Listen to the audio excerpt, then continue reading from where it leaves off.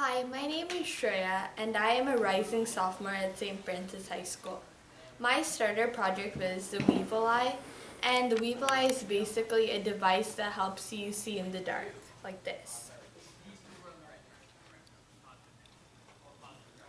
How the Weevil Eye works is basically there is a photoreceptor and the photoreceptor senses light from the outside. Then the photoreceptor sends a signal to the transistor which acts as a switch and powers the LEDs which light up after that. There are resistors on it which make sure that the LEDs don't blow up and have too much power. And this is my Weevil thank you for watching.